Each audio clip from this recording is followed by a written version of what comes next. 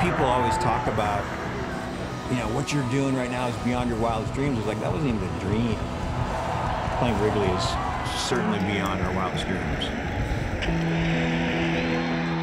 The first time you walk into Wrigley Field, it's like stepping into Oz. Pearl Jam is playing at Wrigley Field during this incredibly magical season for the Chicago Cubs.